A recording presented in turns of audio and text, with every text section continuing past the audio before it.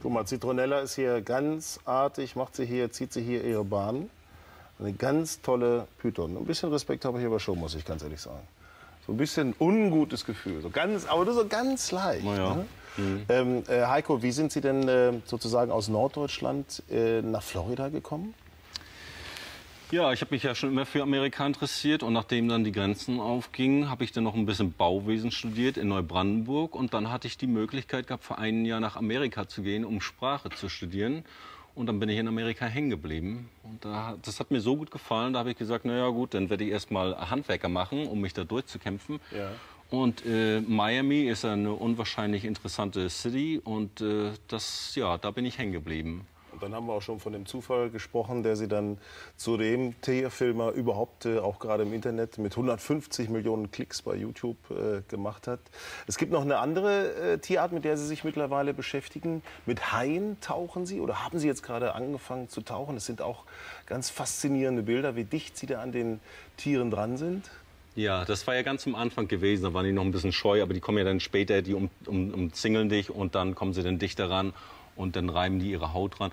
Das ist jetzt ganz neu. Ich habe mit Unterwasseraufnahmen angefangen, eigentlich nur durch Zufall, weil mich ein Agent aus Hollywood angerufen hat und die wollten eine Promo Promotion machen für ein ähm, für ein, ein, ein, ein Haibuch. Ja. Und da wollten die das über YouTube machen. Und da ich im YouTube so viel Erfolg habe, habe ich gesagt, ja, das, da mache ich ganz gerne mit. Das war für den Jeff Corwin, der bekannte ähm, Filme ähm, Wildlife Expert in Amerika. Ja.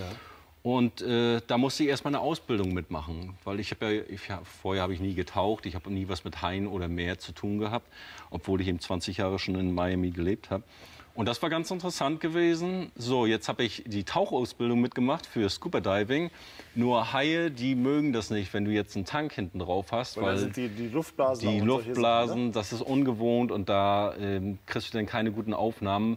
Und da muss ich jetzt beim Freitauchen mitmachen. Und da bin ich jetzt mit dem Ted Hardy zusammen. Der hat die amerikanische Mannschaft in ähm, Italien vertreten. Und der Mann ist super klasse, Weltklasse. Und der trainiert mich jetzt im Freediving. Da geht es dann richtig runter, 20 Meter bis 30 Meter. Ohne Flasche? Ohne Flasche, nur Brille und du hast deine Taucherflossen Flossen an. Und dann irgendwann hoffe ich vielleicht, ja, bis zu zweieinhalb Minute, drei Minuten, wenn ich so lange unter Wasser bleiben kann, dann da möchte ich schon hin. Das ist ein, eine Super, Entwicklung. Das ist super, so traut sich alles zu. Ja, sehr, das, sehr, das kommt eins nach dem anderen. sehr, ne? sehr cool. Aber ich muss auch noch dazu sagen, wenn du jetzt Haie filmst, du hast mehr mit deiner Kamera zu tun als, Als mit drauf. der Angst Ja? Wahrscheinlich, das genau, also- genau, ja, ja. Da, ich bin rein ins Wasser und die haben alle gewartet draußen. Du sollen wir nicht mit rein? Nee, nee, sag ich, ich muss meine Kamera einstellen.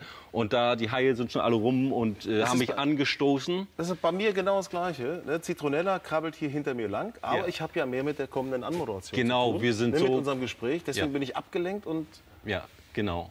Und sie die würde ich aber auch grad an nicht. meiner Tasche.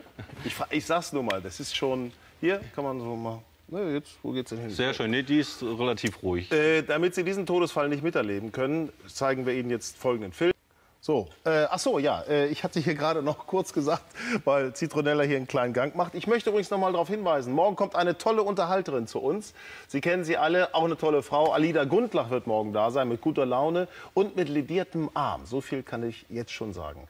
Heiko Kierer, der Tierfilmer überhaupt, auch im Internet, äh, wenn man es wie Sie aus schwierigen Verhältnissen in Norddeutschland nach Amerika schafft und dort einen Traum lebt, wie Sie es jetzt tun als Tierfilmer, was können andere davon lernen?